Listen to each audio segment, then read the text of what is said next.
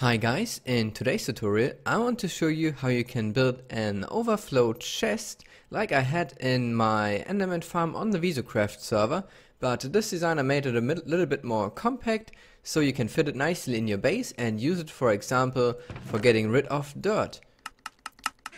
So as you can see it is not that big and it's not that expensive. Uh, you, all the materials that you need, or almost all, you can see in my hotbar. So it's 8 redstone, it's 2 comparators, a dropper, a hopper, 2 chests, a lever, then a cactus and a sand, um, a few blocks of uh, building, building material and uh, the half slabs.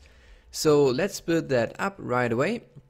And the good thing is that we can build it right next to this thing here. So let's do this. Uh, first you place your chest like this then your um, dropper facing downwards, then the hopper from the side so it fills up with the material that you want to get rid of, for example ender pearls. And uh, then coming to the back, we'll start with redstone. We'll have two blocks here, so the redstone isn't visible from the front. And then you want to place a block here and a half slab next to it. This will make sure that uh, we get the uh, clock started only if the chest is almost full, so we can place something like this. If you want to have the chest a little bit more empty, you can just longer the redstone signal to the back by one and having a redstone signal of uh, only 13 to the side of here and then the chest will stay a bit um, uh, with less items. This is now for uh, redstone level 14, there's only 4 slots, but if you uh, decrease the redstone level you will get more slots free in your chest. Then coming down here, I want to place a block to get the redstone signal downwards.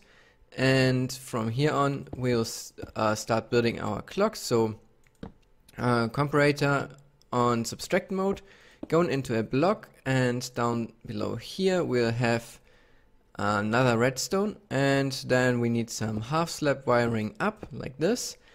And redstone on top of there. This will, um, yeah, make the clock running back here because that goes into the side and also um, goes to the dropper so it um, dispenses the items and uh, then you just need uh, the sand and place it right next to the redstone here and a cactus and maybe put some uh, blocks around so the items uh, can't go anywhere else like this and uh, yeah, that's already it. Uh, let me quickly fill this uh, up with ender pearls.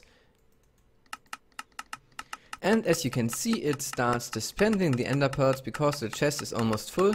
And the good thing about this is if you dump anything else besides ender pearls or in the other case dirt in this chest, it can't go through. So it is also, um, yeah, um, safe for uh, dispensing uh, items that you want to keep. So that's quite nice.